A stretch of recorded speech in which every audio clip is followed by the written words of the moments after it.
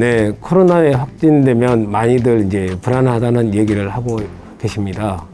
이미 언론에서도 자주 보도되었지만 오미크론은 어, 증상이 심하지 않기 때문에 걱정하지 말고 시군에서 운영하고 있는 행정 안내센터로 전화를 하시면 되겠습니다.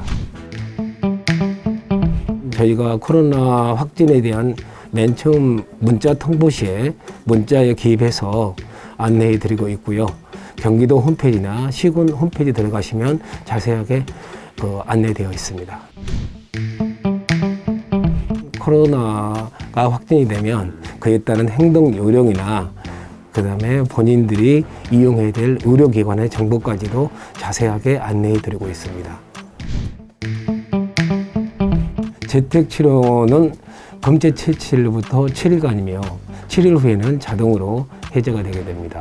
네, 한정된 의료자원을 효율적으로 활용하기 위해서 어, 생활치료시설이 아닌 가정에서 재택치료로 지원을 받게 됩니다. 이 재택치료자는 고위험군인 집중관리군과 일반관리군으로 분류해서 저희가 관리를 하는데요.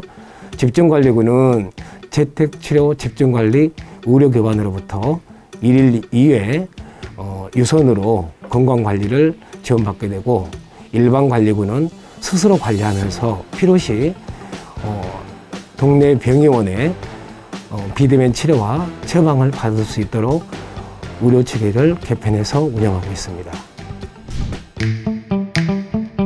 긴급 이송에 대해서도 이제 많은 도민들이 궁금해하는 부분입니다.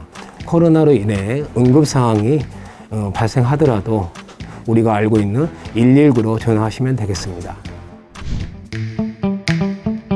보건소가 전화를 안 받아서 좀 전화했다는 이런 민원 전화도 들어오고 합니다.